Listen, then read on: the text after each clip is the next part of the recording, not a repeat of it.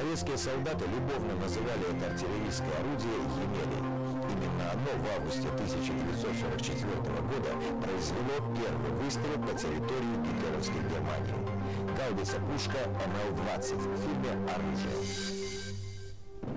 В Первую мировую войну российская императорская армия вступила с небольшим количеством орудий крупных калибров. Необходимость в них была осознана очень быстро – за несколько месяцев были разработаны, испытаны, приняты на вооружение и освоены в производстве несколько типов орудий большой мощности – гаубиц и мортир. Во время гражданской войны производство крупнокалиберной артиллерии в России прекратилось. Однако уже в первые мирные годы разработка и выпуск орудий большой мощности в Советском Союзе возобновилась. Проектированием тяжелых орудий занималось несколько КБ. Благодаря таланту инженеров и конструкторов, их самоотверженному труду, в кратчайшие сроки, практически с нуля, было создано сразу несколько образцов крупнокалиберных пушек, ни в чем не уступавших аналогичным орудиям, принятым на вооружение армий ведущих мировых держав. Одним из самых известных тяжелых орудий Второй мировой войны стала гаубица-пушка МЛ-20. Она была разработана талантливым конструктором Федором Петровым. Петров Федор Федорович, конструктор артиллерийского вооружения, генерал-лейтенант-инженер, герой социалистического труда, лауреат Ленинской и государственных премий.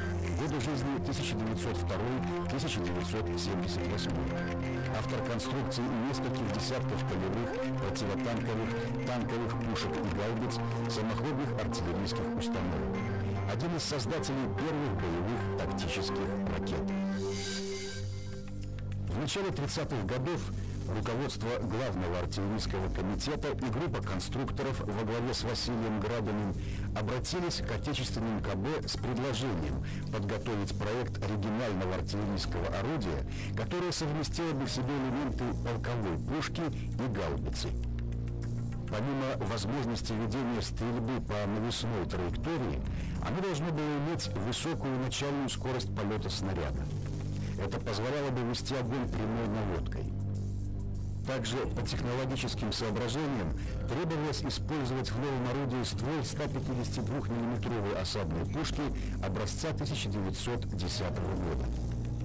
На момент создания она являлась одним из лучших орудий мира – использовалась в Первой мировой войне и гражданской войне в России. В 1930 и 1934 годах была модернизирована.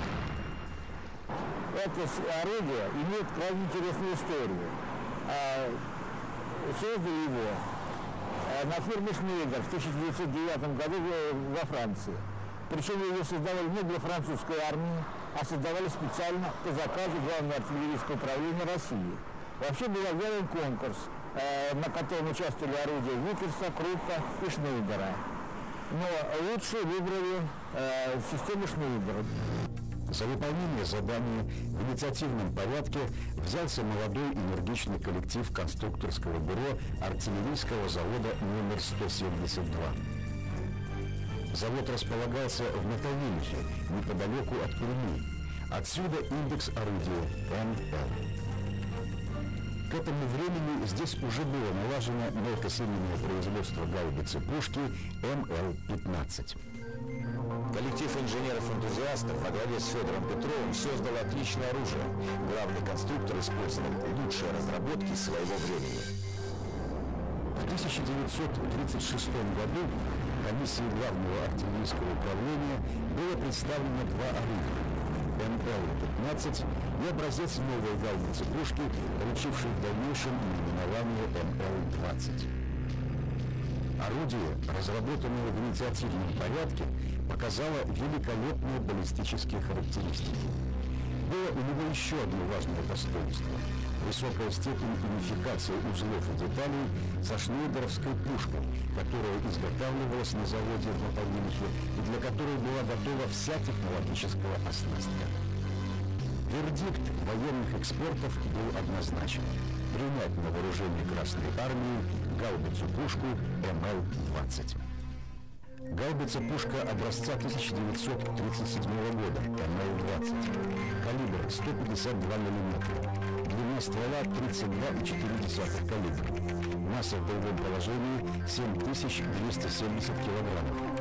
Масса фугасного снаряда 44 килограмма. Начальная скорость снаряда 655 метров в секунду.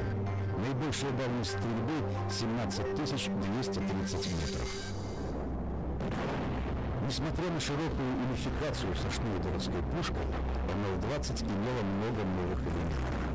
Ствол получил мощный дульный тормоз. Поршневой затвор обеспечивал скорострельность 3-4 выстрела в минуту. Открывание и закрывание затвора производилось поворотом рукоятки. Переход из походного положения в боевое занимал 8-10 минут. Благодаря удачной конструкции и наличию разнообразных выстрелов с 13 переменными зарядами, орудие обладало уникальными возможностями маневра огнем.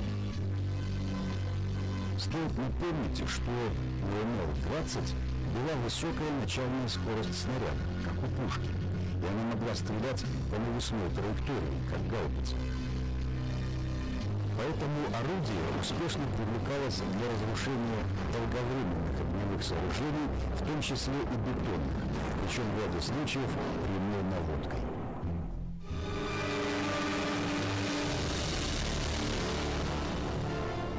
Впервые МЛ-20 в небольших количествах была применена в ходе боев на реке Халхингон. Орудие активно использовалось в советско-финской войне, где оно успешно разрушало доты и дзоты на линии Маннергейма.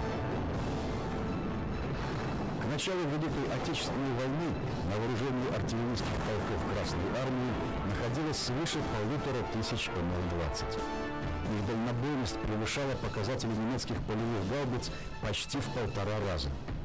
С учетом того, что в первые недели и месяцы войны немцы обладали подавляющим превосходством в воздухе, советским гаубичным дивизионам пришлось взять на себя несвойственную для войны Второй мировой войны функцию – борьбу с артиллерией противника.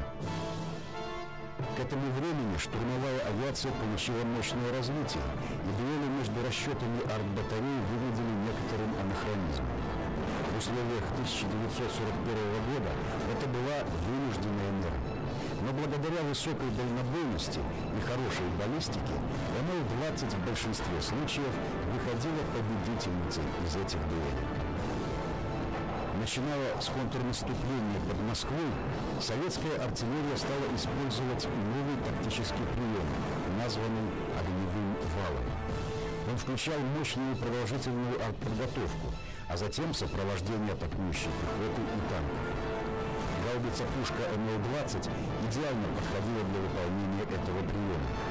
Осколочно-фугасный снаряд был отличным средством подавления опорных пунктов противника. Вес орудия позволял достаточно быстро перебрасывать артиллерийские батареи МЛ-20 на необходимые участки фронта. 152-мм гаубица-пушка образца 1937 года сыграла важную роль в Курской битве, оказавшись одним из немногих орудий, способных эффективно бороться с новыми, хорошо бронированными немецкими танками и самоходно-артиллерийскими установками. Конечно, использование орудия такого класса против танков стало крайней мерой, поскольку для таких целей МЛ-20 имеет слишком большие размеры, соответственно легко обнаруживается и поражается, высокую стоимость и малую скорость наводки. В то же время, при отсутствии или неэффективности штатных средств, МЛ-20 выполняла противотанковую работу. Бронебойные и бетонобойные снаряды легко поражали все танки вермахта, включая модифицированную «Панцер-четверку», тяжелую «Тигр» и «Пантера».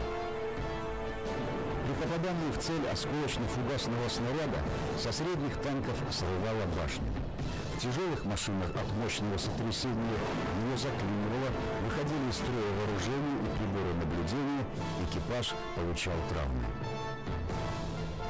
Еще одно применение гаубицы пушки МЛ-20 заслуживает отдельного упоминания.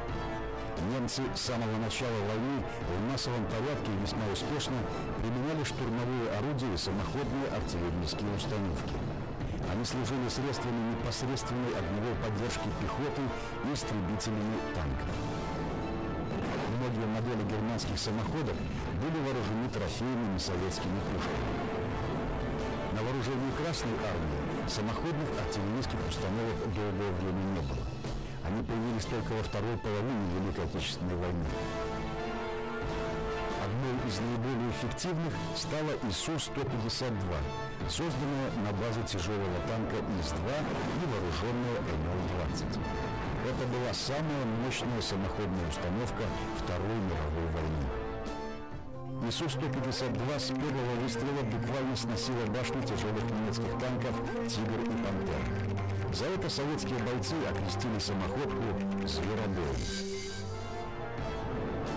Многие специалисты считают, что МЛ-20 по совокупности характеристик, надежности, нетребовательности к техническому обслуживанию, сравнительной простоте конструкции намного превосходит современные орудия калибра 152 мм. Всего было изготовлено около 7 тысяч этих гаубиц пушек. В армиях нескольких государств они до сих пор находятся в боевом строю.